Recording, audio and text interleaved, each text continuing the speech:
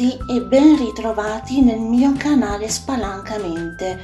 Oggi avventura piratesca con l'olandese volante di Richard Wagner.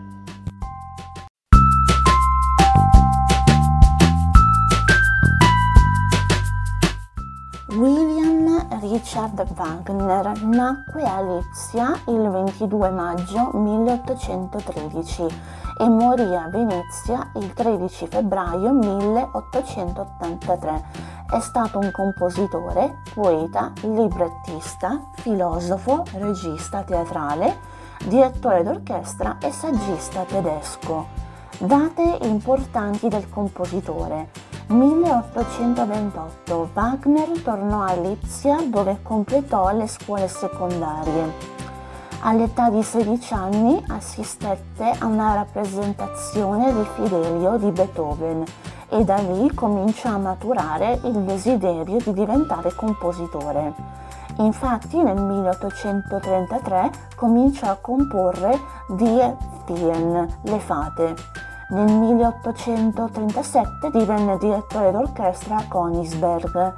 1839 compose l'olandese Volante e tra il 1839 e il 1842 visse in condizioni di povertà a Parigi, però compose la tetralogia L'anello dei Nibelunghi, composta da L'oro del Reno, La Valchiria, Sigrifrido e Il crepuscolo degli dei, che noi vedremo su YouTube spalancamente a maggio.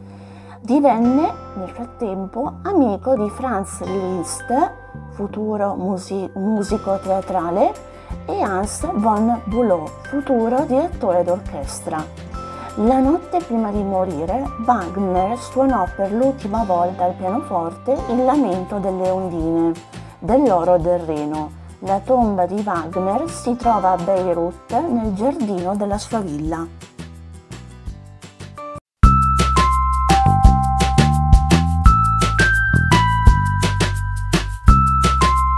Daland è un marinaio norvegese. Senta, figlia di Daland. Eric è un cacciatore innamorato di Senta. Mary, nutrice di Senta. L'olandese, fantasma maledetto in cerca di redenzione.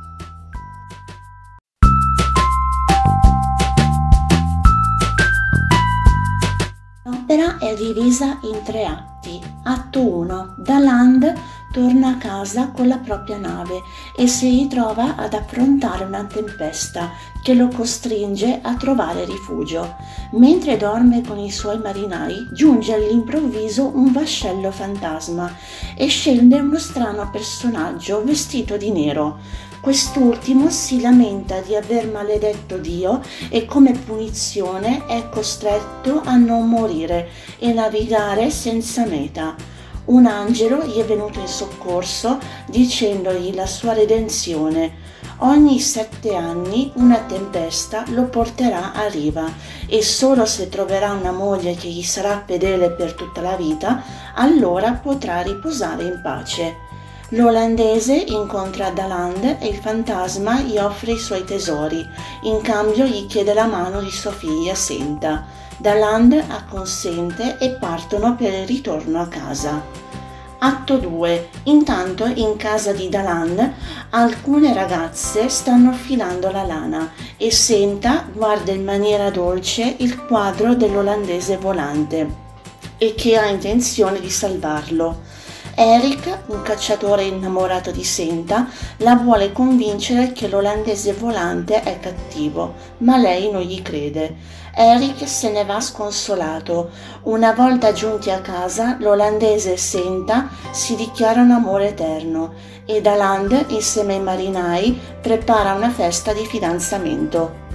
Atto terzo. Durante la festa, Daland invita gli uomini dell'olandese volante ma essi assumono le forme spettrali e gli uomini scappano impauriti.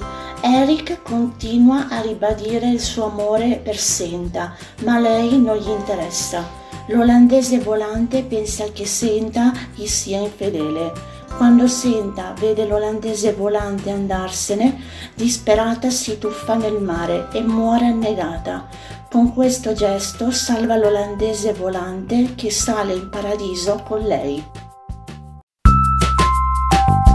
È un'opera di Richard Wagner, nota anche con il titolo Il vascello fantasma. La storia è ripresa dalla leggenda folcloristica L'olandese volante, che narra di un capitano a navigare fino al giorno del giudizio. Wagner riprese la prima al Koninklijkes of Theater di Dresda il 2 gennaio 1843 con William Schroeder de Wrighten.